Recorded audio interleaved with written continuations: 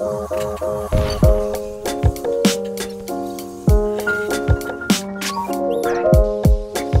guys, we're gonna start on the middle class now. I'm gonna kinda try to break it down the best way I can, help you understand what's going on here. We have all these machines either have rear wheel drive, some of them have all wheel drive. They're all rear wheel drive or all wheel drive. They all have personal pace. That is the key, guys. Personal pace is the jam. If you plan on mowing your own lawn, get some the personal pace. Trust me. If you're gonna plan on mowing your own lawn, expect to start paying money around $400. You could get cheaper mowers. They're just not as good. They don't hold up. So I, get, I swear I'm gonna see comments. This guy only thinks you can mow your grass with a $400 mower. No, I'm sure you can mow your grass with less than a $400 mower. I showed you some.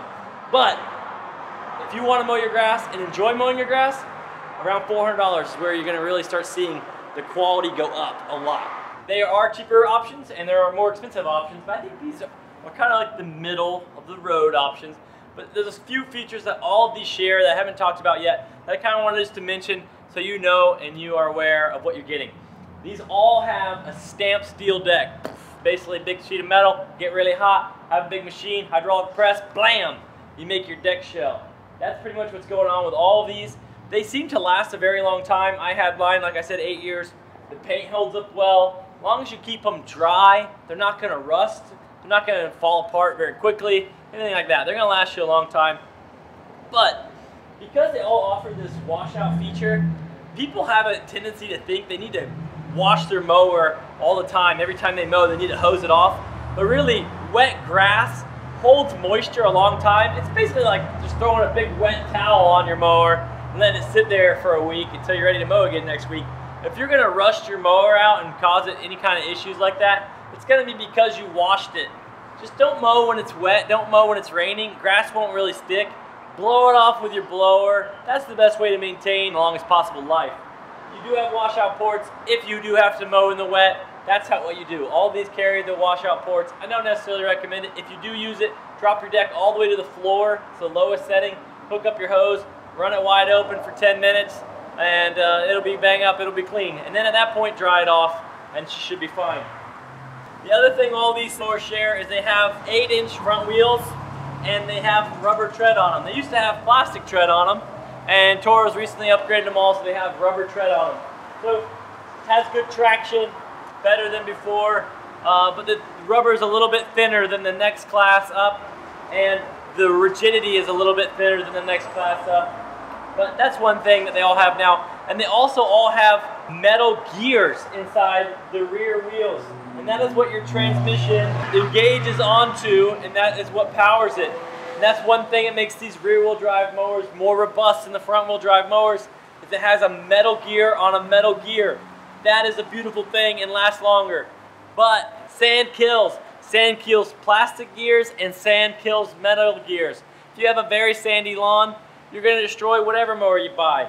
So if you plan on having your mower a long time and you wanna have a nice lawn, and it's just sand everywhere, either sod it, add topsoil, add seed. You're gonna need to invest in that lawn to make it nicer to help film those things, or else you're just gonna continue to have wear issues. Some people I see bring their mower into us every couple years, the whole machine's just clapped, wore out, all the gears, terrible grinding, they're slipping, it's just because they have a sandy yard, and that person's gonna spend a lot of money over the years replacing lawnmowers and it's just simply because they have a sandy yard. So that's something to think about. Also, something shared amongst all these uh, self or personal pace. They all have a 22-inch blade. They all have the same blade number, uh, and they all cut grass the same quality. They all cut grass about the same way. There's no different feature in how they cut grass or how well they cut grass. so basically, the reason you want rear wheel drive, the reason this middle class is so effective in Florida is because when you are pushing a mower, this is how the self-propel system works. This handle is your brake, it stops your engine, doesn't actually break your wheels or anything. It literally squeezes a band around your flywheel and shuts your engine off if you let go of it. By holding it back, it allows your engine to spin. But your self-propel is powered by this lever here. And if you've never used one of these, you should go to a local dealer and just try one. It is very fun to use, very easy. And it makes cutting your grass almost like vacuuming your lawn. It's something you can use very easily. And basically, as you walk, you don't have to do anything consciously. You just walk and naturally the weight of your arms and the pressure applied by walking is going to engage that transmission and it's gonna just basically walk at your personal pace. So as you walk, it's gonna engage the transmission exactly the right amount and just kind of walk right in front of you. And it's just a very pleasant process and very pleasant to use. Basically, as you just walk, it just walks right in front of you. And when you're ready to turn, you just spin it around, you turn it. And when you're ready to back up, you just pull back. And when you pull back, it disengages your transmission and this mower will just free roll backwards. Hondas roll backwards terribly. Toros roll backwards beautifully. It's just a simple thing how they set up their transmission. I don't know why. And I'm not saying Toros with Hondas roll back terribly. Just Honda push mowers roll back really poorly. I don't know why. They have a different transmission. Toros roll backwards really nice. But I always say, it's not about going backwards, it's about going forward, baby. If you're going backwards, you ain't mowing. It's all about going forward. But anyway, I think Toro does a great job. I like this personal pace. If you plan on mowing your own grass, this is the this is the genre and above is where you should be. Okay. I don't know if I mentioned, but all these mowers have uh, basically three ways to mulch or cut. You can put a side discharge chute here. It's very simple to do. They come with it. You have a bagger, so you can bag. You can put your side discharge on. Or you can take all that stuff off and just mulch. Also, I don't know if I mentioned before, but this is how you switch from mulching to bagging. It's a very easy system. The other ones on the cheaper class don't have that feature. Basically, this rear flap, when it closes, that's what closes and blocks off your hole, or your, uh, your rear discharge chute. So it's not quite as good. You'll find that this area will get packed on the cheaper mowers. On this, you have a nice flap that closes and it keeps this compartment area cleaner longer. But if you need to cut your grass and it's been raining or it's too tall, the side eject is very, very nice and it's not a feature you find on all push mowers. Hondas don't have it. Uh, and the cheapest Toro doesn't have it either. But all this lineup has it. And so that's a very nice feature, side discharge.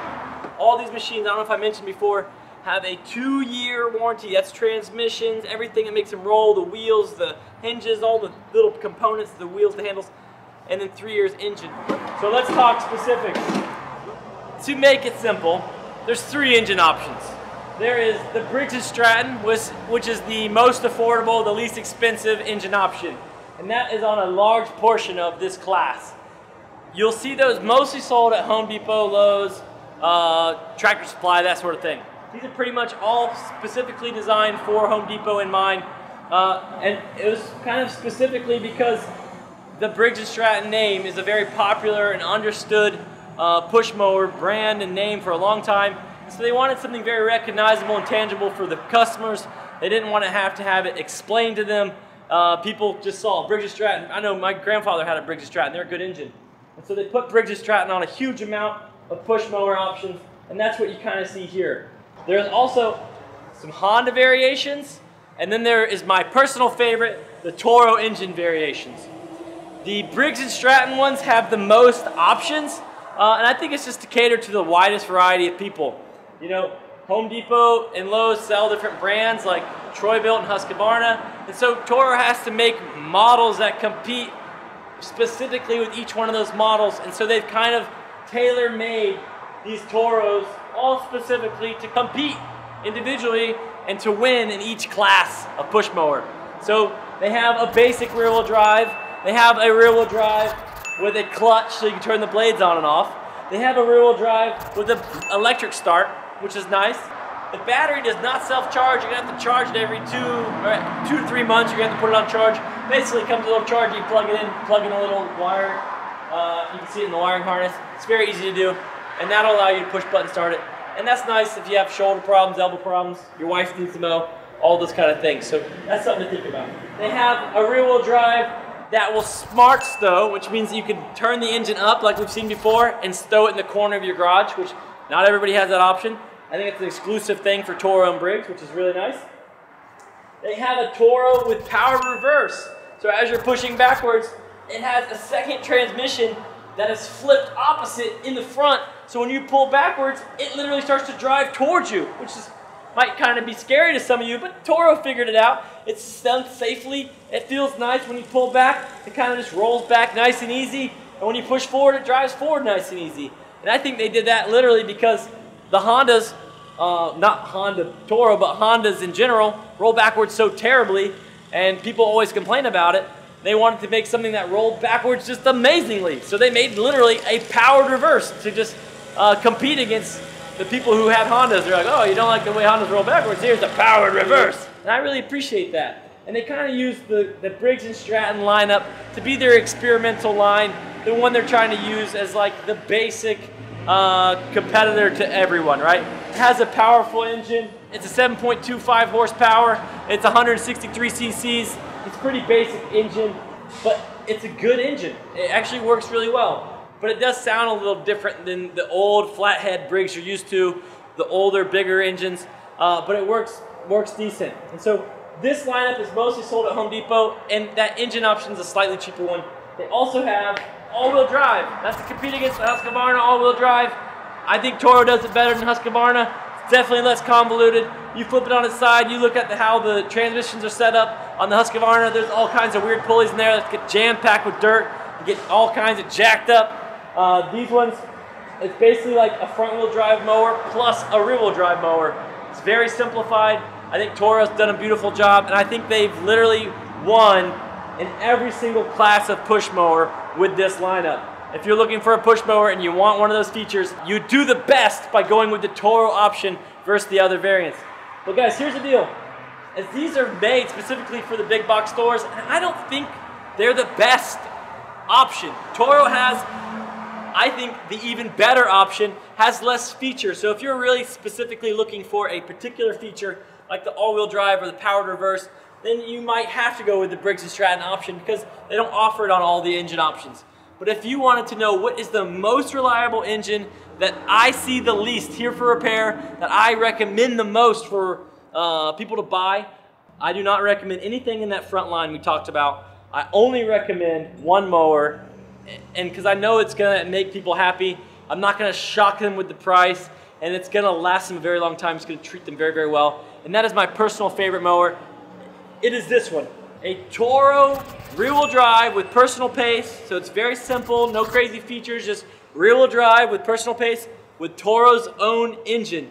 This engine came out nine years ago, but Toro, this engine has been the best engine on any push mower I see ever. I mean, literally, guys, I, I'm not only making YouTube videos all the time, most of my day, I sit on a service counter checking in lawnmowers to be repaired and assigning them to my mechanics. And the ones that are in the shop most for repair are the Kohlers. Gosh, hate the Kohlers.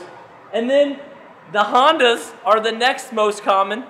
And then the Briggs and last the Toro. I rarely see this mower in for repair.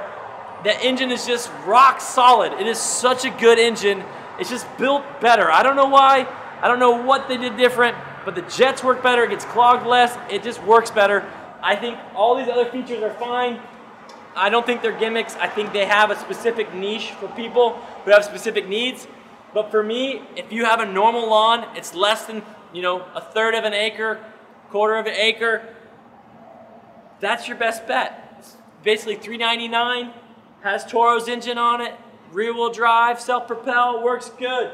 That engine also comes on, or comes with a clutch option that you can turn your blades on and off, and it also comes with an electric start option. So the only other mower in this lineup is the Honda. You see it all the way down here. This is the plain Jane Honda, rear wheel drive, self-propel. Um, they also have an electric start option, and I think they have a clutch start option also. I didn't have those in the building. Uh, I just didn't order them when I ordered my big batch. Just because I honestly don't sell them that much and I don't like recommending them that much. Uh, not because they're terrible, they actually work okay. I just don't think they're better than the Toro and it's more money, so why, why bother? Um, but that pretty much concludes the entire mid-class lineup. I want to get all these out of the way and I want to talk about the next tier of lawnmowers. The next tier Toro offers is called the Super Recycler. They have a thicker deck. They have actually a smaller deck. It's a 21 inch instead of 22 inch. Let me get all these out of the way and we'll talk about them. And once we're done with that, I'm gonna bring out my top five favorite mowers and we're gonna compare those top five and why I picked each five of those. Stay tuned, let us move these out of the way.